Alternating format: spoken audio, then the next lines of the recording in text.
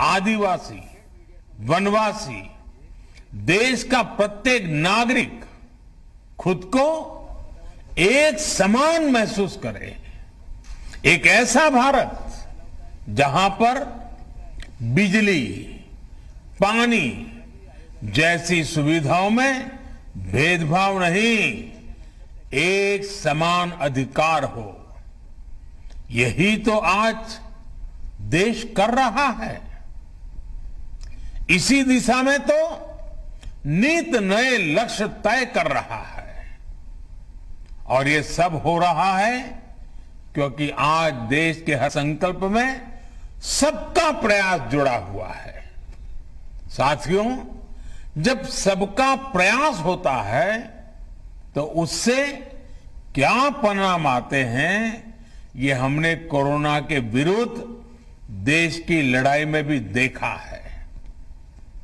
नए कोविड अस्पतालों से लेकर वेंटिलेटर तक ज़रूरी दवाइयों के निर्माण से लेकर 100 करोड़ वैक्सीन डोज के पड़ाव को पार करने तक, ये हर भारतीय, हर सरकार, हर इंडस्ट्री, यानी हर एक नागरिक, यानी सबके प्रयास से ही संभव हो पाया है। सबका प्रयास की इसी भावना को हमें, अब विकास की गति का, आत्मनिर्भर भारत बनाने का एक मज़बूत आधार बनाना है। अभी हाल ही में सरकारी विभागों की साझा शक्ति को, पीएम गति शक्ति, नेशनल मास्टर प्लान के रूप में एक प्लेटफॉर्म पर लाया गया है। बीते वर्षों में जो अनेक रिफॉर्म किए गए हैं, उनका सामूहिक परिणाम है कि भारत निवेश का एक आकर्षक डेस्टिनेशन बन गया है। भाइयों और बहनों, सरकार के साथ साथ समाज की गति शक्ति अगर ये जुड़ जाए तो बड़े से बड़े संकल्पों की सिद्धि कठिन नहीं है। सब कुछ मुमकिन है। और इसलिए आज ज़रूरी है कि जब भी हम कोई काम करें तो ये ज़रूर सोचें कि उसका हमारे व्यापक राष्ट्रीय लक्ष्यों पर क्या असर पड़ेगा। जैसे स्कूल कॉलेज में पढ़ाई करने वाला युवा एक लक्ष्य लेकर चले कि वो किस सेक्टर में क्या नया इनोवेशन कर सकता है। सफलता, असफलता अपनी जगह पर है, लेकिन कोशिश बहुत ज़रूरी है। इसी प्रकार जब हम बाज़ार में खरीदारी करते हैं तो अपनी पसंद, नापसंद के साथ साथ ये भी देखें कि क्या हम उससे आत्मनिर्भर भारत में सहयोग कर रहे हैं या हम उसे उल्टा कर रहे हैं। भारत की इंडस्ट्री भी विदेशी रॉ मटेरियल या कंपोनेंट्स पर निर्भरता के लक्ष्य तय कर सकती है।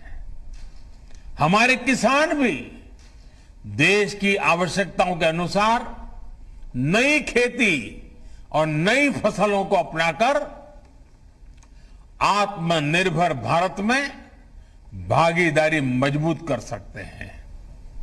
हमारी सहकारी संस्थाएँ भी देश के छोटे किसानों को मज़बूत करें। हम जितना ज़्यादा ध्यान हमारे छोटे किसानों के ऊपर केंद्रित करेंगे। उनकी भलाई के लिए आगे आएँगे। गाँव के अत्यंत दूर दूर के स्थानों तक हम एक नया विश्वास पैदा कर पाएँगे। और हमें इसी दिशा में संकल्प लेने के लिए आगे आना है।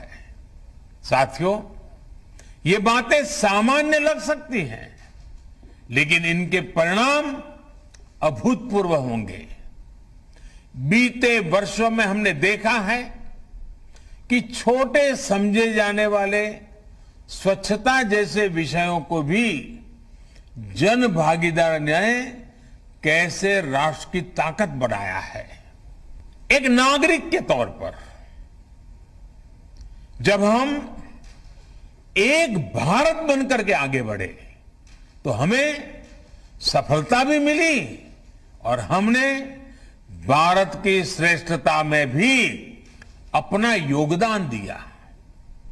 अब हमेशा याद रखिए, छोटे से छोटा काम भी महान है अगर उसके पीछे अच्छी भावना हो। देश की सेवा करने में जो आनंद है, जो सुख है, उसका वर्णन शब्दों में नहीं किया जा सकता। देश की अखंडता और देश की एकता के लिए अपने नागरिक कर्तव्यों को पूरा करते हुए हमारा हर प्रयास ही सरदार पटेल जी के लिए सच्ची श्रद्धांजलि है। अपनी सिद्धियों से प्रेरणा लेकर हम आगे बढ़े। देश की एकता, देश की श्रेष्ठता को नई ऊंचाई दें। इसी कामना के साथ आप सभी को फिर से राष्ट्रीय एकता दिवस की बहुत बहुत बधाई। धन्यवाद।